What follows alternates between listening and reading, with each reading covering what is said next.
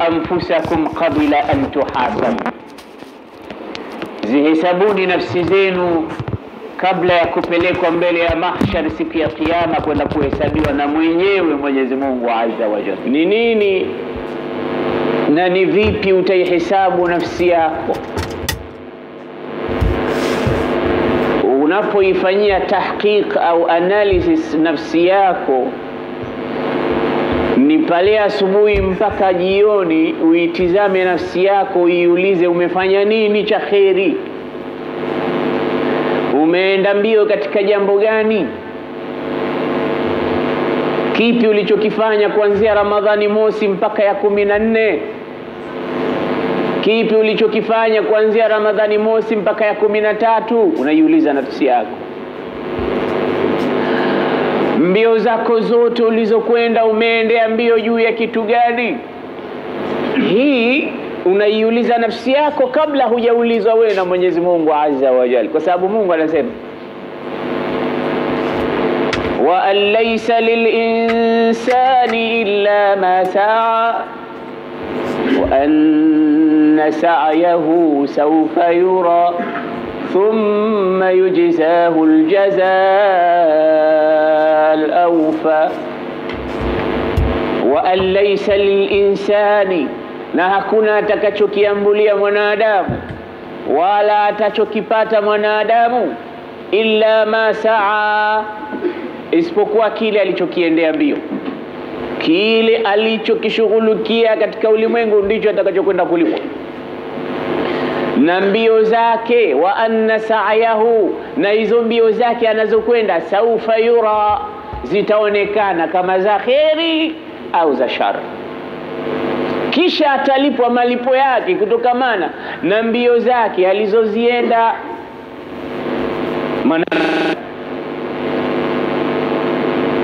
Hakuna mwanadamu yoyote ila atalipwa kutokamana na alichokipeleka. Kwa hiyo ulize nafsi yako, ya nafsi, madha amilt, umefanya nini? Na je, ni zuri ulolifanya? Hasib nafsaka qabla an tuhasab, ihesabu nafsi yako ndugu yangu kabla hujahesabiwa na Mwenyezi Mungu siku ya Kiyama. Ukishaihesabu nafsi yako, nitakutoa kidogo nikupeleke mahala pazito. Hapa ni pazito. Mahala gani hapo ambapo tuna feli? Mahala pa kuitikia mwito wa Mungu na mahala pa kuitikia mwito wa Bwana Mtume sallallahu alaihi wasallam. Mahala hapa pa kuitikia mwito wa Mungu na Bwana Mtume, hapa ndipo palipo na kufaulu na hapa ndipo palipo na kufeli.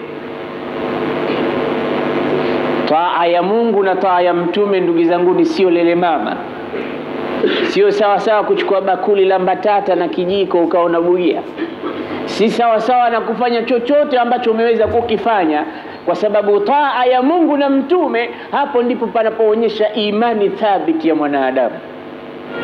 Msikilize Mwenyezi Mungu mwisho mwisho wa Suratul Ahzab anasema nini? يا أيها الذين آمنوا اتقوا الله وقولوا قولا سديدا. يصلح لكم أعمالكم ويغفر لكم ذنوبكم. ومن يطع الله ورسوله فقد فاز فقد فاز فوزا عظيما.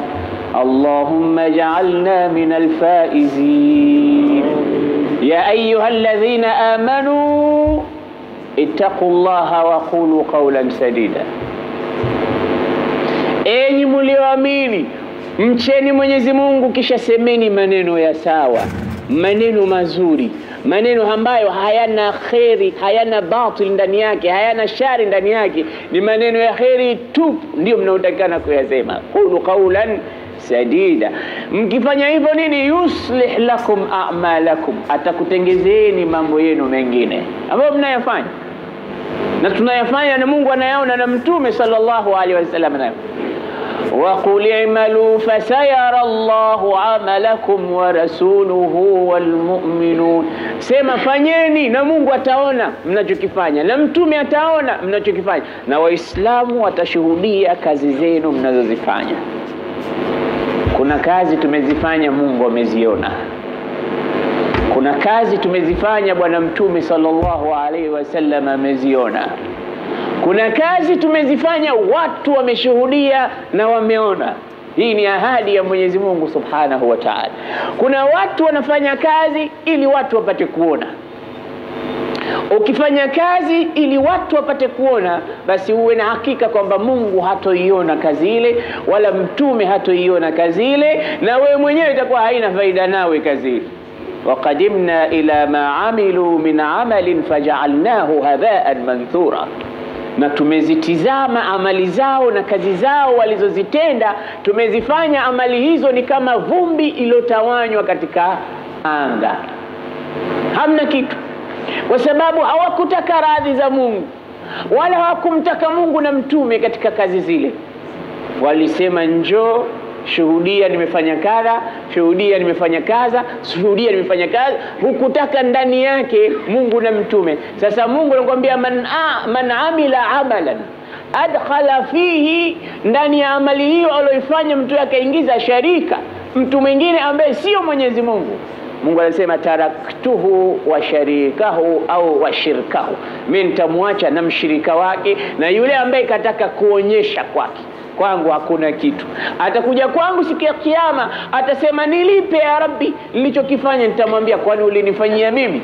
innama faalta kadha liyuqala fulanun sakhi, wewe ulikifanya hiki ili watu wapate kusema fulani si bakhili, fulani mkono wake ni mwepesi, uko wazi, hodari, na watu wameshasema, na hicho wameshakipata kutoka kwa watu. Kwangu hakuna kitu hakutaka Mungu na mtume, lakini akimtaka Mungu na mtume mpaka watu nao wataona. Ndio wakul i'malu, sema fanyeni kazi, tendeni matendo, fasayara Allahu amalakum, Mungu ataona kazi zenu. Akishaona kazi zenu Mwenyezi Mungu wa rasulu na mtume wake, walmu'minun, na waumini wataona, wanafiki hawataona hakuna watu wengine wata, hata kama wataona lakini watakuwa hawana macho ya kutizama. Limadha? lianna Allaha dhahaba bisam'ihim wa absarihim.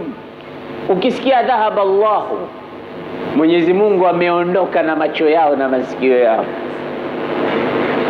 Fi qulubihim maradun fazadahum Allahu marada walahum adhabun alimun bima kanu yakdhibun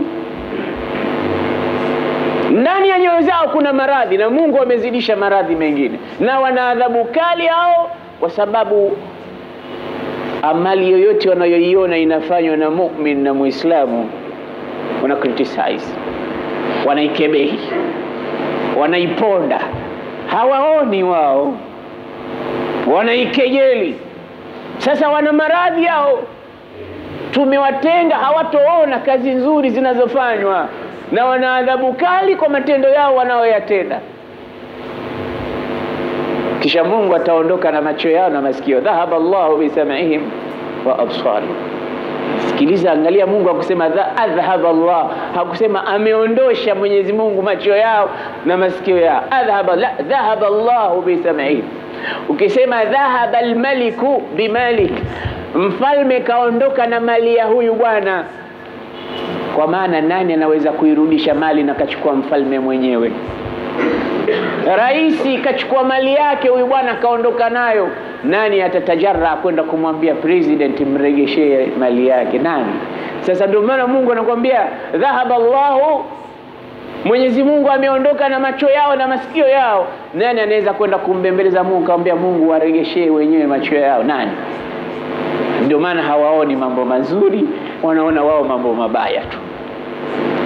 Kwa ajili hiyo basi, kuna kitu kinachoitwa taatullah wa taatu rasul, kumtii Mwenyezi Mungu na kumtii Mtume sallallahu alaihi wasallam.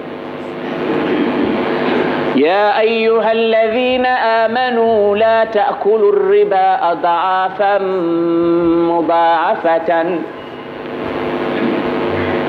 wattaqu llaha la'allakum tuflihun.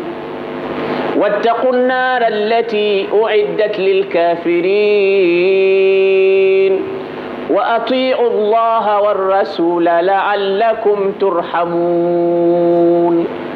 Aya hizi katika suratu Ali Imran zitizame, zinakataza Waislamu wasile riba. ya ayuha alladhina amanu la taakulu riba adhaafan mudhaafa, nyongeza juu ya nyongeza nyingine. Zamani katika ujahilia kulikuwa na riba inaitwa riba nasi. Riba hii ndio riba aljahiliya. Ilikuwa mtu ana shida, anakwenda kukopa, mtu anamkopesha miati dinari mathalan, utanilipa lini? Baada ya mwaka. Mwaka umefika, yule anayedaiwa hana pesa za kulipa, anamfuata mdeni wake alomkopesha, anamwambia ajazu an sadadi dainik, nashindwa kulipa deni lako, kwa hiyo niongeze mwaka wa pili. Mwenye mali anamwambia nitakuongeza mwaka wa pili bisharti nimekulipa mia dinar, unilipe mia wa hamsini dinar. Nimekukopesha mia dinar, we ukija mwaka wa pili, maadamu umetoka umetaka ziada, kwa hiyo sharti yangu uniletee mia wa hamsini dinar. Anasema nimekubali, anakwenda. Mwaka wa pili ukifika, anasema mambo yangu hayajawa vizuri. Naomba uniongeze miezi mitano. Anamwambia nimekuongeza miezi mitano kwa sharti, nimekupa mia dinar. Nikakuongeza hamsini dinar, sasa hivi nakuongeza thelathini dinar.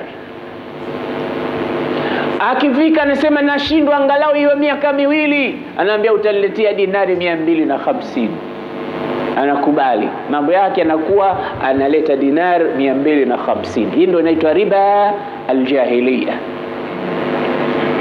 Hii ikakatazwa katika Uislamu. Angalia riba yenyewe ni, ni riba ambayo ukitizama picha yake na riba ya leo ni tofauti kabisa. Yaani mtu anapewa bila kuongezewa kitu, mpaka mwakani utanilipa. Sasa amekuja ameshindwa, ndo anawekewa sharti sasa, lete mia na hamsini.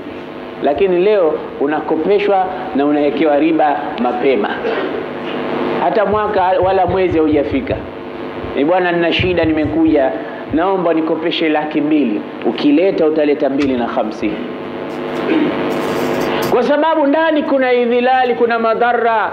Mwenyezi Mungu akakataza watu wasile riba wala wasitaamal katika mambo ya riba, inna alladhina yakuluna riba la yaqumuna illa kama yaqumu alladhi yatakhabbathu ash-shaytanu min al-mas dhalika biannahum qalu mithlu riba wa ahalla Allahu albay'a wa harrama riba.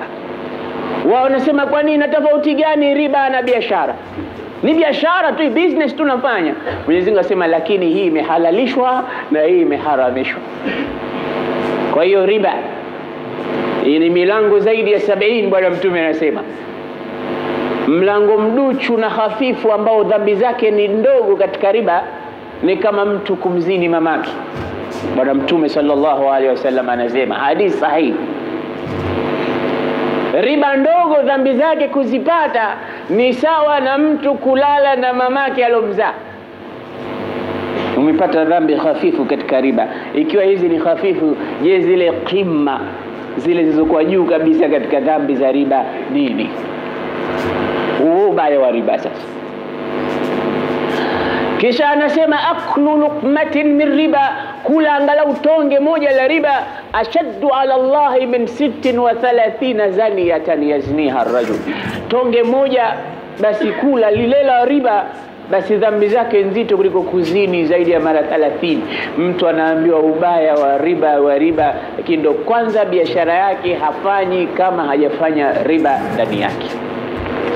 Sasa ulipoona hizi zimekuja ni nzito na riba, kwa kuwa inakupa mali haraka haraka na tamu mara moja tu, unatajirika. Mwenyezi Mungu akwambia, ya ayyuhalladhina amanu la taakulu riba adhafan mudhaafatan wattaqullah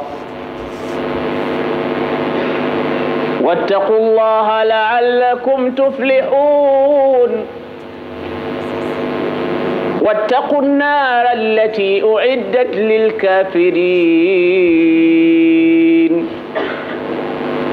وأطيعوا الله والرسول لعلكم ترحمون.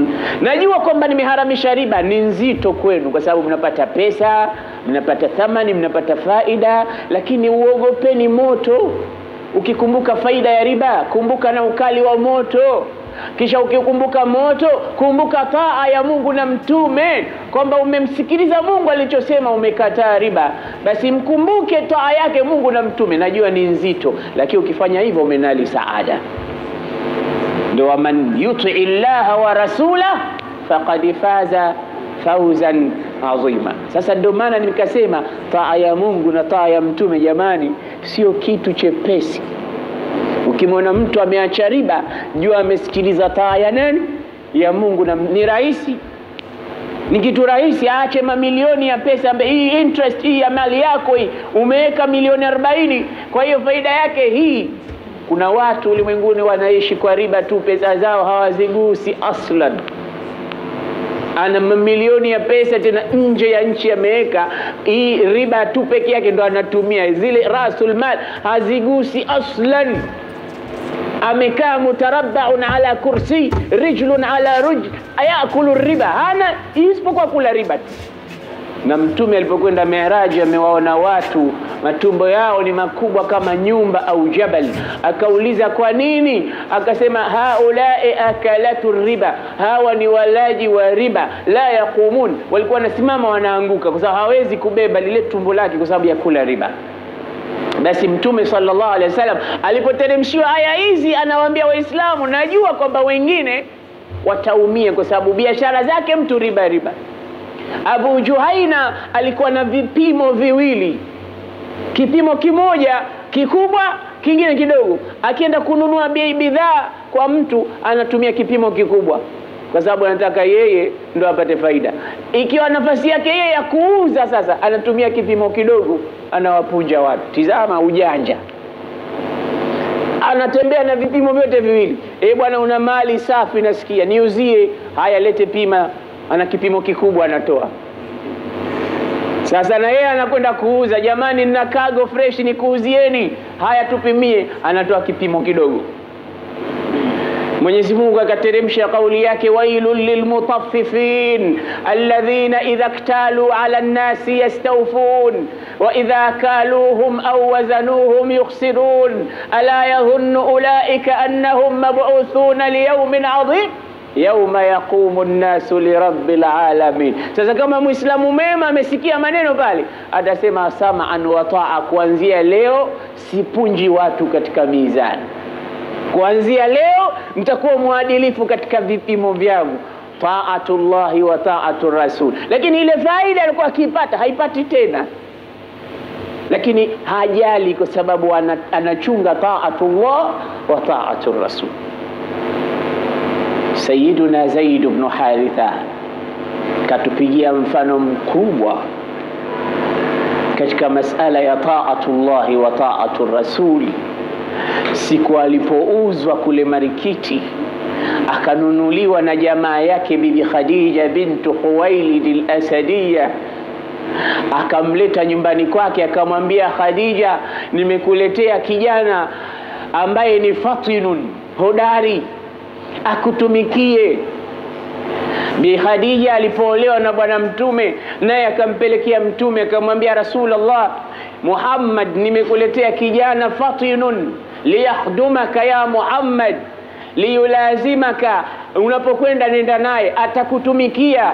Kijana mwenyewe huyu, jina lako nani? Anasema mimi naitwa Zaid ibn Haritha, wameniteka watu wakaniuza katika soko la Makka, sasa hivi nimefika kwako.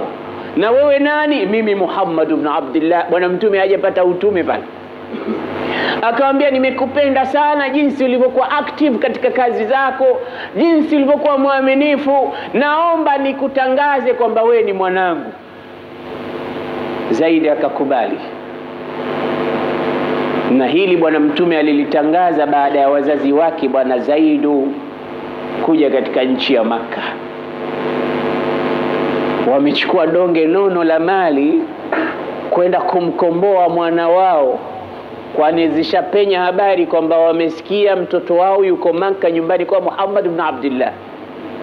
Kwa hiyo tukifika tukimtaka mtoto wetu, bila shaka Muhammad atasema nipeni pesa zangu zote nilizomnunulia mwana wenu amenigharimu, nimemlisha mpaka amefika hapa, nimemsomesha. Kwa sababu watu hupiga hesabu hizo siku hizi. Ukienda kuoa, baba anakaa na calculator anapiga hesabu, nilimsomesha huyu, alikwenda college, nilitumia milioni mbili pa, pa, pa, pa, na kalkuleta, Baba unafanya nini? Subiri kwanza tukupe mahari yake, mahari milioni sita wala msidhani maskhara. Mimi nishawahi kusikia hapa hapa kwetu Unguja, mtu kapigwa milioni dola alfu nne mahari. Dola alfu nne mahari ni zaidi ya hizo milioni sita au zinakaribia elfu nne dola. Na hata kama Mtume hakusema mahari ni kiwango kadha, jamani, ndo ifike dola alfu sita dola alfu nne mahari kwa nini inakuwa hivyo? Angalia hadithi ya Mtume, aisaruhunna mahran a'dhamuhunna baraka, mahari hafifu ndio mwanamke alobarikiwa na Mwenyezi Mungu azza wa jalla. Na kwa nini ufanye ghali mahari? Maanake unataka wazini, au ndo ulikuwa humtaki bwana harusi, unamkomoa? Kwa nini unaweka kima kama hicho? Inakuwa mwanamke kama silaha, kama kama kama bidhaa, anauzwa, ananunuliwa. Yasiru zawaji, jamani, hafifisheni mambo ya kuoana, mahari yawe mepesi, lialla yaqau shabab lialla yaqa shababu walfatayatu fi zina, vijana wasipate kupata nafasi ya kuzini. Asema maadamu mahari yamekuwa hivi, mi sina, kwa hiyo nitakuweka tu, nitakufuga tu, nitakuweka kinyumba. Mnawapa wenyewe nafasi na vichochoro vya kufanya machafu kwa mahari kiasi hicho. Sasa leo mahari dola hizo nani anaweza kutasawar maisha ya leo?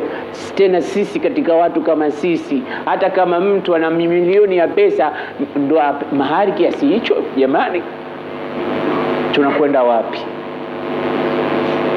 Basi anakaa na kalkuleta, anapiga hesabu ulezi wake wote alomlea, taalimu alizomfundisha na college amempeleka na kompyuta amesoma na kadha kadha, kisha unaambia sasa nilipe hizi zote gharama zangu, kama mchukue baadaye, tutamaliza.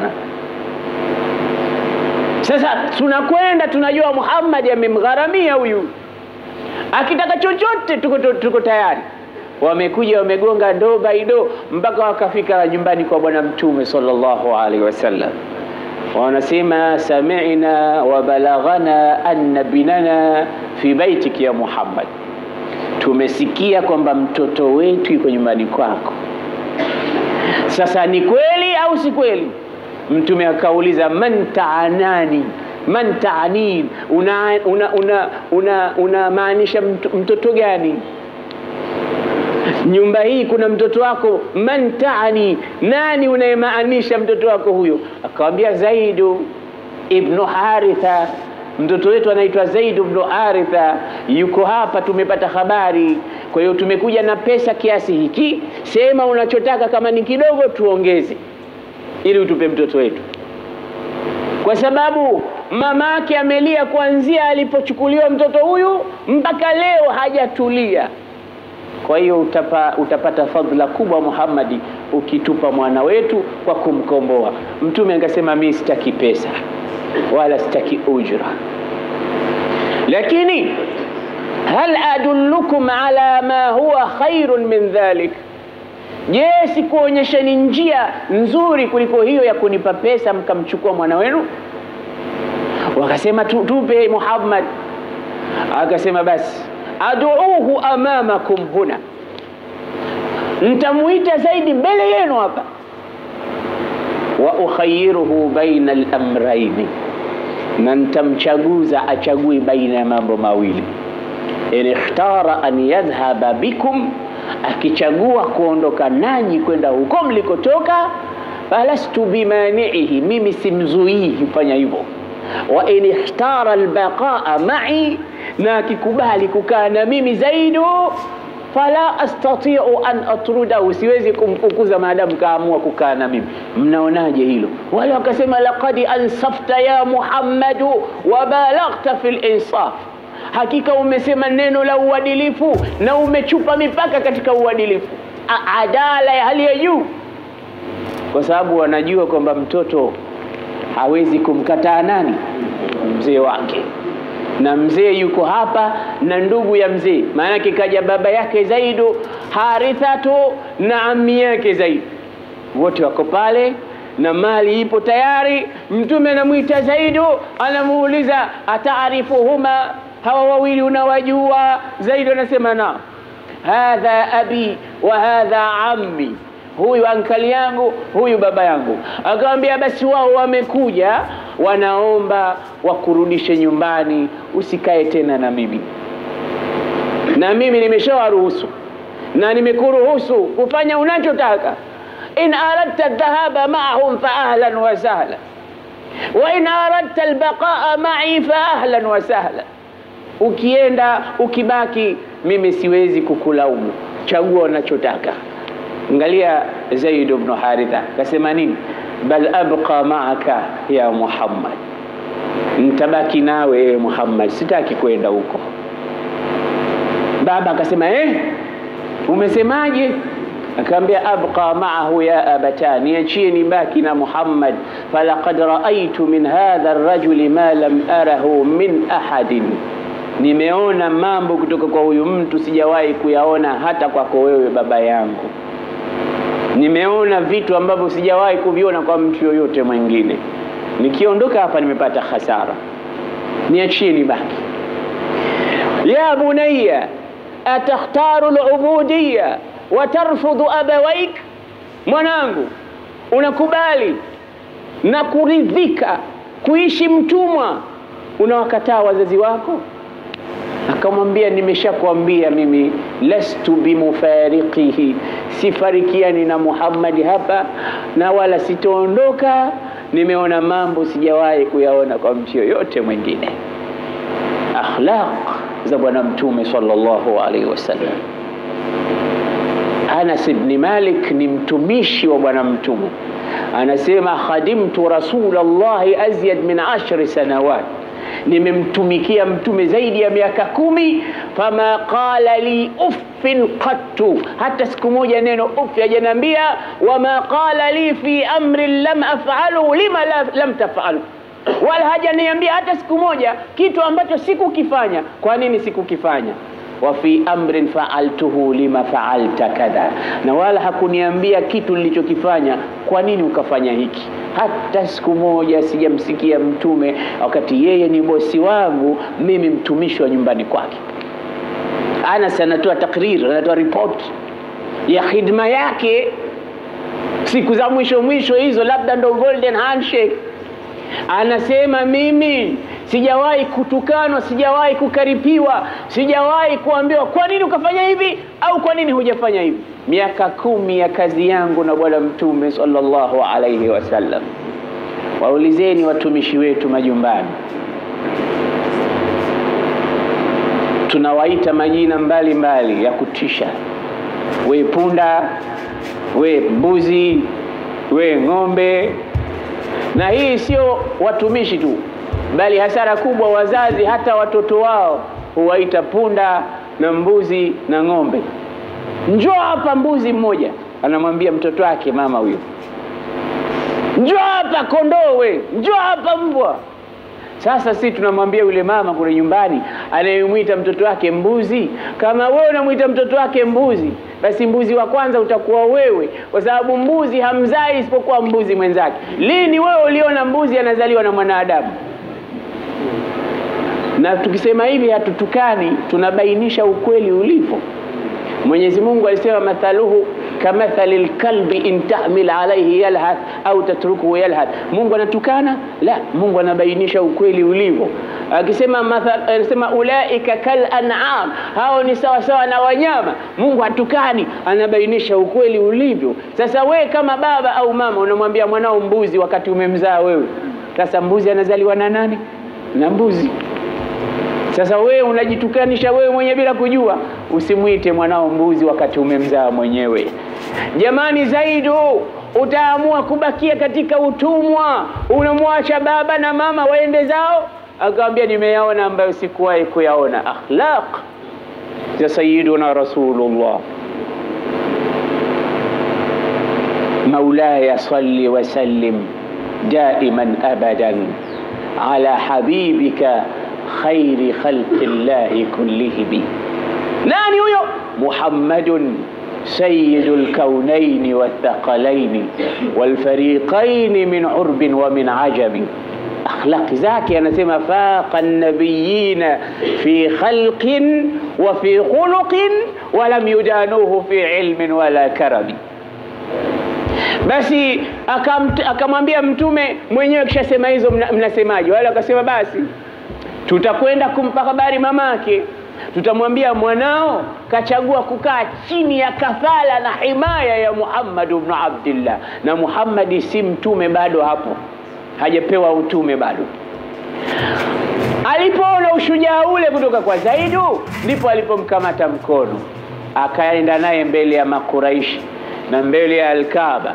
Bwana Mtume akatangaza utoto na ubaba wa kujijengea kwa Zaid ibn Haritha, akasema ya ma'shara Quraish, enyi mkusanyiko wa Maquraish, ishhadu min awali hadha alyawm, shuhudieni leo ndo mwanzo wa siku natangaza, anna Zaidan ibni, kwamba huyu Zaidi ni mwanangu, arithuhu kama babake mimi nitamrithi, wayarithuni, na kama mwanangu yeye atanirithi. Mtume anatangaza utoto na ubaba wa kujijenga kwa Zaidu kutokamana na mambo aliyoyaona. Kwani mtu hutoa misimamo yake kutokamana na nini? Na action zilizokuwepo pale, kukatokea reaction. Ishaq Newton alikuwa akisema likulli fi'lin raddu fi'l kila kitendo kina action, kila action kina reaction. Sasa action ya Zaid ilizalisha reaction ya Muhammad ibn Abdullah kutangaza ubaba wa kujijenga na umwana wa kujijenga kwa sababu ya msimamo wake. Zaid amekuwa mkubwa, anataka kuoa, amfuate nani? Babake. Na babake ni nani? Muhammad. Akamwambia, babangu, nataka kuoa. Mtume akamwambia, unamtaka nani? akamwambia Zainabu bintu Jash, na Zainabu ni binti wa ammati ya Mtume anaitwa Umaima bintu Abdul Muttalib, nasaba tukufu sana katika nchi ya Maka, kabila tukufu mno. Wakati Zaidi ni mtumwa, ameuzwa marikiti kwa bei poa wanavyosema. Leo anataka mwanamke sharifatun hasibatun annasibatu, lakini Uislamu unasema la amruka mal insanu illa bnu dinihi fala tatruki taqwa tikalan ala lnasab faqad rafaa alislamu salmana farisin waqad khutta bishirki nasibu abu lahab. Nasema Uislamu hautizami kabila, Uislamu hautizami nasaba, Uislamu hautizami mtu cheo chake, wadhifa wake. Uislamu unatazama vitu vingine vingine tofauti kabisa. Anasema la, anasema kunibna man shita waktasib adaban yughnika mahmuduhu an nasabi inna alfata man yaqulu ha ana dha laisa alfata man yaqulu kana abi. Si mtu yule sema mimi babangu alikuwa alikuwa babangu alikuwa alikuwa, sema mimi nimekuwa nimekuwa. Wewe nani? Usitajie historia ya babako alikuwa hivi alikuwa hivi alikuwa hivi. Tunakutaka wewe uwe nani, unatajika kwa wewe ulivyo.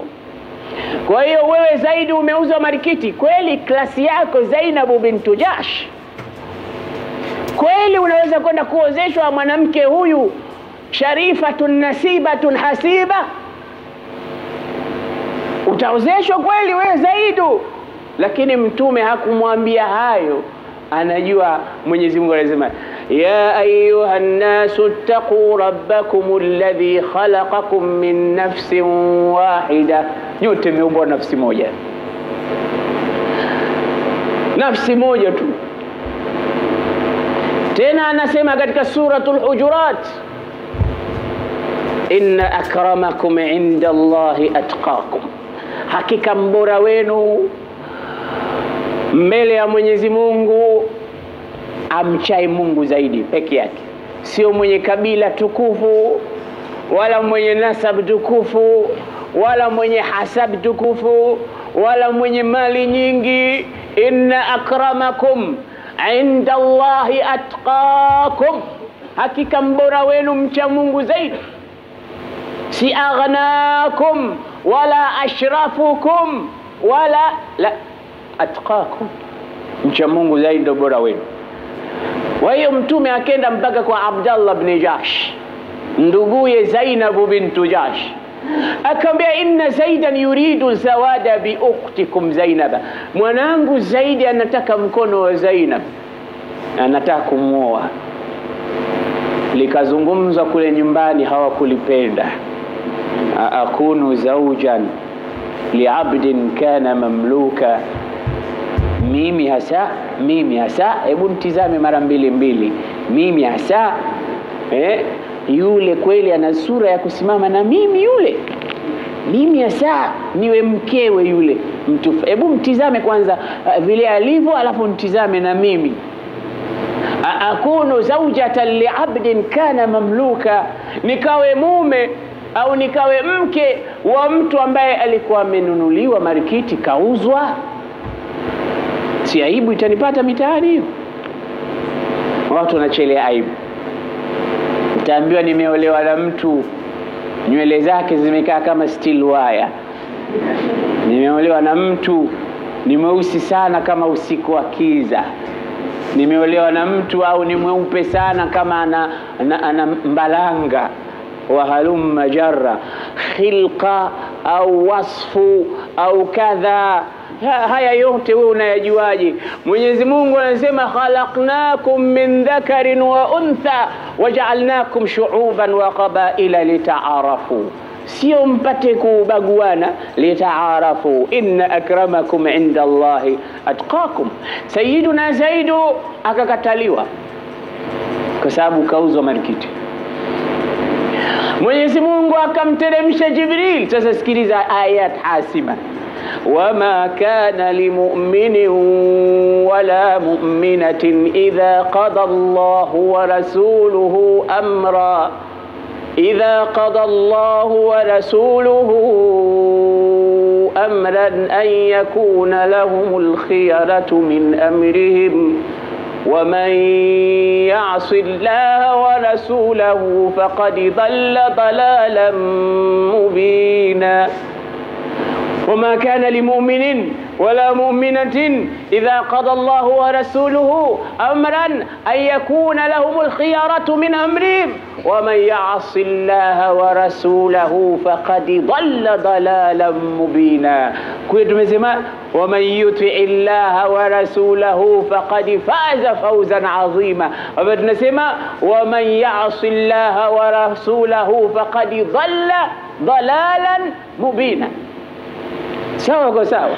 Atakayemtii Mungu na mtume amefaulu kufaulu kukubwa, na atakayemwasi Mungu na mtume amepotea mubina. Sasa Zainab, na usharifu wako na uhasibu wako na ukabila wako na uarabu wako na ukurashia wako na ukuruba wako na bwana mtume sallallahu alaihi wasallam kama hukumsikiliza Mungu na mtume utakuwa umepotea kupotea kuliko wazi. Sayyiduna Rasulullah aliliweka wazi hili. Aya ziliposhuka, waangalie Waislamu wa kweli, walikuwa Waislamu wa kweli hawa. Mwenyezi Mungu akawaambia, sitaki lipatikane jambo kama hilo la tamyizul unsuriyi baina almu'minin nyote waislamu ni sawa sawa asema annasu fi lislami sawasiyatun ka asnani lmusht watu wako sawa kama meno ya kitana, wote kama meno ya kitana, tuko sawa sawa, hakuna walomzidi mwenzake. Arabun wa ajab, abyadun wa aswad, Waarabu na Waajemi, weupe na weusi, warefu na wafupi, wanene na wembamba, mafukara na maskini na matajiri, wote wako sawa katika Uislamu. Yatafadhaluna biamalihim, wanakuwa bora kwa matendo na amali zao. Waliposikia aya zimeshuka hizi kwamba mwenye kumaasi Mungu na mtume kapotea, Abdallah bni Jahshi alikuja mbio kwa mtume, analia, anaambia Rasulullah, murni bima shit ya Rasulullah, murni bima shit, niamrisha unachotaka. Kumwozesha Zainab tamwozesha, kumwozesha Zaid bnu Haritha. Hawa ni Waislamu wamesikia kauli ya Mwenyezi Mungu, amekasirika na anaambia hakuna tamyizu lunsuri, alislamu la yaarifu tafriqata baina alibad. Akaambia niamrishe unachotaka. Amri imetoka, Zainab akakubali kuolewa na Zaid, lakini munawashat, huruf, niza, shiqaq, nyumba alikuwa haikutulia kila siku misunderstanding kati yake na bibi Zainab, na hivi ndivyo ndoa, ikiwa hakukuwa na makubaliano mazuri, labda mtu kaambiwa tuna babake akuoe huyu au muozeshe huyu, mapenzi yanakuwa yanakosekana. Nimesikiliza tu kumsikiliza mzee wangu. Ndoa nyingi sana zinatakikana kuwe kuna makubaliano kati ya watu wawili. Mwisho Zainab akaachwa na Zaid baada ya bwana mtume kumwona Zaidi anakuja mnyonge, anamwambia Rasulullah, maisha yamekuwa mazito, uridu talaq, nataka kumwacha. Akamwambia amsika alaika zaujaka wattaqillah, mzuie mkeo, usimwache, muogope Mungu. Matatizo ya Rasulullah, vumilia. Sio advisable kumwambia mtu mpe, mpe talaka mkeo mara atampa talaka, atakwambia baadaye, mimi bwana nilikuwa bado nakupenda, lakini Uthman Maalim ndo alokazania muache, muache, muache, lakini bado nakupenda mie naku... mwisho nakuwa wewe mbaya. Kwa nini umeombea muache? Wanawake wengi, usitumie kauli hiyo, wewe tumia njia ya kuwapa nasaha wawili waliokosana, mtu na mkewe, wala usimwambie mtu mwache, mpe nasaha, avumilie. Na mtu akijua hasa mke kwamba wewe siku moja ulimwambia mumewe mwache, akajua na mume naye huenda fulani kanaambia nikuache mimi, akijua ndo mgomvi wake fi dunia wal akhira. Mtizame hata bibi Aisha alikuwa na ugomvi na Sayyidina Ali. Kwa sababu mtume aliposingiziwa bibi Aisha zina, kwa sababu mpaka, mpaka mke wa mtume kasingiziwa machafu sasa mtume alikuwa anaona vibaya sana, anakwenda kila kwa sahaba wake aliomwamini anampa nasaha. Ali, unaonaje? Akaambia Rasulullah, mbona unajisumbua bure? Annisau siwaha kathira, wanawake wako wengi kuliko Aisha, tena wazuri wazuri kuliko Aisha, mbona unahangaika bure? Enda kawe mwingine tu. Aisha akasikia habari kwamba Ali anamwambia mtume, wako wanawake wengi kwani unajisumbua unakaa unawaza kumuhusu Aisha? Basi akawa lile jambo liko katika moyo wake. Siku moja akaja akamwambia, ugomvi wangu mimi na wewe sasa hivi umekwisha, lakini ilikuwa ni kuhusu lile kauli yako ile uliomwambia mtume siku ile, uliomwambia katafute mwingine, mimi ndo aniache. Na wewe ole wako, mwambie tu mwache bwana, katafute, utakuwa mgomvi maisha. E, sisi tunatoa mawaidha tu, wanawake wasema, ukitoa haya ya kuwa wake wawili televisheni inazimwa na huko unapita wanakulani maloni kwelikweli. Ndo nini? Anaambia waume zetu waowe maloni kwelikweli, ni kama laana zinapokelewa, ingekuwa hatupo tena katika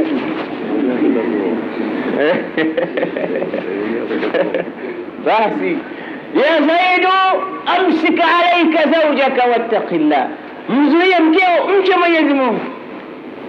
Na mtume kishapewa habari zamani na Mwenyezi Mungu kwamba siku moja Zaidu atamwacha Zainab. Asa akishamwacha Zainab, wewe Muhammad, itakuwa zamu yako kumwoa Zainab. akaona hapa sasa hatari.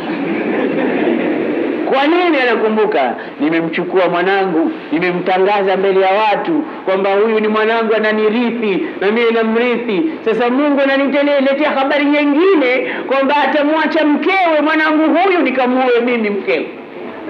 Angalia sasa, hapo ndo nimesema kuna mtihani mkubwa kusikiliza taa ya Mungu na taa ya Mtume. Alipokuja Zaido, Zaido anamwambia Rasulullah, uridu talaq. Mtume anambia amsik alaika zaujaka wattaqillah. Hamwambii kama Bwana Mungu kishaniambia kwamba wewe utamwacha Zainab, na ukimwacha Zainab kaniambia ni mwawe mimi sasa Zainab. Hajamwambia, anamwambia tukaa na mkeo vizuri, mwogope Mungu. Ile siri hamwambii. Sasa Mwenyezi Mungu tizama tena, anarudi وإذ تقول للذي أنعم الله عليه وأنعمت عليه أمسك عليك زوجك واتق الله وتخفي في نفسك ما الله مبديه. فلما قضى زيد منها وطرا زوجناكها لكي لا يكون على المؤمنين حرج في أزواج أدعيائهم إذا قضوا منهن وطرا وكان أمر الله مفعولا. وإذ تقول kumbuka siku ulipokuwa unasema Muhammad lilladhi an'ama Allahu alayhi kumwambia yule ambaye Mungu amemneemesha zaidi. Mungu amemneemesha kwa nini? Kwa Uislamu. wa an'amta alai, na wewe umemneemesha Muhammad kwa nini? Bil'itqi wal hurriya, alikuwa mtumwa zaidi, wewe umemwacha huru, umemneemesha. Ulikuwa unamwambia nini? amsika alaika zaujaka wattaqillah. Lile neno Mungu kalirekodi, anaambia kumbuka ulivyokuwa unamwambia maneno haya watukhfi fi nafsika ma Allahu mubdii, na Muhammad ulikuwa unaficha katika nafsi yako na moyo wako mambo ambayo Mungu atayaweka wazi karibuni. Kwani usimwambie kama mimi Mungu kishanaambia nitamuoa mtalaka wako? watukhfi fi nafsika ma Allahu mubdii watakhsha nnas, na unaogopa watu wallahu ahaqu an takhsha, na Mungu ana haki zaidi ya kuogopewa kuliko watu falamma qada zaidun, alipomaliza Zaidu minha wataran, haja yake akakaa na mkewe mpaka ndoa akatoa talaka, zawajnakaha, tumekuozesha wewe Muhammad. Lini? Alipotoa talaka tu Zaidu.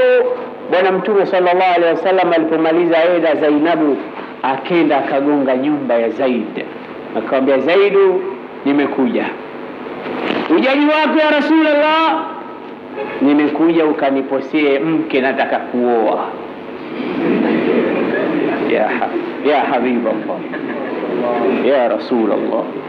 Mtume sallallahu alaihi wasallam na Zaid wanatufundisha mengi katika historia hii, katika suala la taa ya Mwenyezi Mungu na taa ya mtu. Zaid anasema khairan ya Rasulullah kheri. Nani huyo unataka kumwoa ewe mtume wa Mwenyezi Mungu? Akaambia utakwenda. Nikamwambia ndio. Basi mi sina nayemwamini ninayempenda, kwa sababu sio maskhara. Zaidi alikuwa kipenzi cha Mtume, mpaka historia imeandikisha mtu mmoja tu anaitwa hibbu rasulillah, kipenzi cha Mtume kwa Zaid ibn Haritha hibbu rasulillah. Siku ya Taif tulizungumza hapa, alikuwa akikinga mawe kumkinga Mtume sallallahu alaihi wasallam. Kwa hiyo hata mtoto wake alipomzaa Sayyiduna Usama bin Zaid ameitwa ibnu hibbi rasulillah, mtoto wa kipenzi cha bwana Mtume sallallahu alaihi wasallam. Na hakusikilikana Mtume akilia kwa sauti na kwikwi, ila baada ya kufa Zaid ibn Haritha katika vita vya Mu'ta kule Rum. Akaulizwa, ma hadha ya Rasulullah, mbona leo umekuwa tofauti na kilio chako chochote ulichowahi kulia hapo kabla? Mbona unafanya hivi ya Rasulullah? Mtume alijibu nini? hadha bukau lhabibi lihabibi, hiki ni kilio cha mpenzi kumlilia mpenzi wake. Amena lisaada Sayyiduna Zaid, Mtume anamlilia kiasi kile mpaka sauti inatoka hadha bukau lhabibi lihabibi, hiki ni kilio sio cha kila mmoja kwamba mie naweza kulia kiasi hiki. Kafa mtu leo miongoni mwa watu waliokuwa vipenzi katika moyo wangu, basi ndio maana nimelia mlivyosikia. Sina ninayempenda kama wewe zaidi, utakwenda kuniposea? Naam ya Rasulullah, niko tayari. Nani huyo? Kaambia usiwe haraka, nenda kaniposee mwanamke anaitwa Zainabu bintu Jahsh. La haula wala quwwata illa billah. Hilo jina limemkumbusha mbali Sayyiduna Zaid.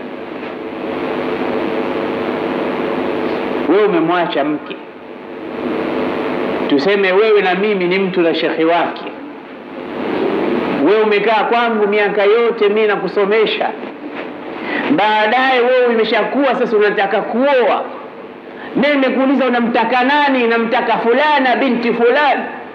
Nimekwenda kukuposea. Baada ya kukuposea, umeishi na mkeo, kila siku unanifuata, matatizo hayaeshi. Bwana, kaa na mkeo vizuri, usimwache. Mwisho umemwacha mkeo baada ya kumwacha mkeo, mie shehe wako nakuja nakwambia, unajua bwana, naenda kaniposee yule mke alokuwa mkeo. Eh, utizame kivumbi kitakavyokuwa hapa. Nimewambia si shehe yule tu, si shehe, nimewambia mie utasema ya kupwa na kujaa, utasema yalokuwepo na yasiokuwepo alikuwa anakuja kila siku, kumbe mimi nikisafiri, yeye anakuja nyumbani kwangu, mimi sina habari. Unasema mengi la, kwa sababu kwamba ni kitu cha kawaida. Lakini Zaid alipoambiwa Zainabu bintu Jashi akasema ahlan sam'an wa taa ya Rasulullah, sam'an wa taa ya Rasulullah, nitakwenda. Kaondoka mguu moja mguu pili mpaka nyumbani kwa Zainab akagonga mani Tariq, mgongaji nani? Kasema Zaid ibn Haritha. Zainab anamjua Zaid, walikuwa wake na mke, mke na mume. Nini kilichokuleta? Kwa sababu mara nyingine baina ya mke na mume kuna nyakati nzito zimepita, mpaka mwingine hataki kumwona tena mwenzake.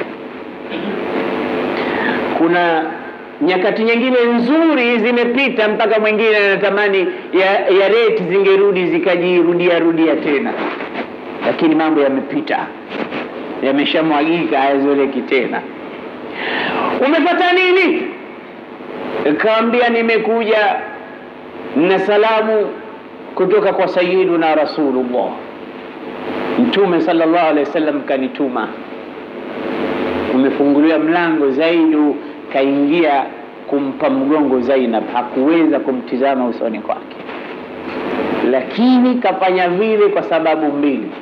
Kwanza, kashatajwa na Mtume, hakutaka kumtizama mke wa Mtume. Mtume kishamtaja kwamba namtaka ni muoe awe mke wangu. Sasa kaenda nyuma ya pazia, anazungumza huko, amempa mgongo kisha vile vile isije akaona sura yake akakumbuka mengi ambayo hataki tena kuyakumbuka, lakini anamsikiliza Mtume sallallahu alaihi wasallam na amemsikiliza Mwenyezi Mungu. Mtume anasa, anasema anakutaka, anataka kukuoa. Zainab akasema la hata astashira rabbi, mpaka nimtake shauri mola wangu, aniambie na mola wangu vipi mambo haya hajasema hayo yote. Mwenyezi Mungu alikuwa shamtuma Jibril, falamma qada zaidun minha wataran zawajnakaha likai la yakuna ala almu'minina harajun. Hapa kuna kunatajwa sababu, tumekuozesha wewe Muhammadi Zainabu ili kusiwe na, shay, na shaka wala shida kwa Waislamu ala azwaji adiyaihim kwa wake au watalaka wa watoto wao wa kujijenga, wakitaka kuwao waje wauliza nafaa kumwoa sifai kumwoa? likai la yakuna ala almu'minina harajun fi azwaji adiyaihim idha qadau minhunna watara. Hii ni hikma ya kuja kuvunja tabani ni hikma ya kuja kuvunja ule ubaba wa kujijengea na utoto wa kujijengea, kwamba Uislamu unaharamisha mtu kuitwa jina la asiyekuwa babaki au kunasibishwa na jina la mtu ambaye si babaki. Mtume kasema baada ya maneno haya, inna min akbari lkabairi an yantasiba almar'u ila ghairi abi, hakika miongoni mwa madhambi makubwa ni kujinasibisha mtu kwa baba asiyekuwa wake. Kama umemwokota mtoto pipani au umeokota jaani, Uislamu unakwambia usimtupe, mlee, lakini usimnasibishe kwamba ni mwanao usimnasibishe katika jina lao. Wengine wake zao wanawaita kwa majina yao. Uislamu unasema ud'uuhum liabaihim huwa aqsatu inda Allah fain lam ta'lamu abaahum fa ikhwanukum fi ddini wa mawalikum. Walikuwa watu wengi, alikuwepo Salim anaitwa Ibnu Abi Hudhaifa, lakini Qur'ani iliposhuka ikaitwa Salim maula Abi Hudhaifa kwa sababu hajulikani babake na aitwa maula, huyu ndo mwenye kumlea Abi Hudhaifa. Zaidu ibnu Muhammad, jina likarudi Zaidu ibnu Haritha. Ndo hikma ya kuharamisha taban. Kwa hiyo tumefanya hivyo Muhammad, ili kusiwe na shida. Watoto wa kujijenga ni halali kuwaoa wake zao ambao wamewaacha baadaye, watalaka wao. Kwa ajili hiyo basi, sasa Muhammad muoe Zainab, na tumekuozesha bila hata ya kadhi wala bila ya nini, si ruksa imetoka mbinguni. Mtume katoka ala tul, kaingia nyumbani kwake, akawa mke wao ni Zainabu bintu Jahsh. Zaidi ameshatekeleza. Ingalie taa ya Mungu na taa ya Mtume ilivyokuwa ngumu katika moyo, lakini umeitekeleza. Ndugu zangu ni Waislamu, na mambo mengi yanataka taa ya Mungu na taa ya Mtume ndipo yende, bila hivyo hayendi. Mwenyezi Mungu atujalie min yastami'una alqawla fayattabi'una ahsana.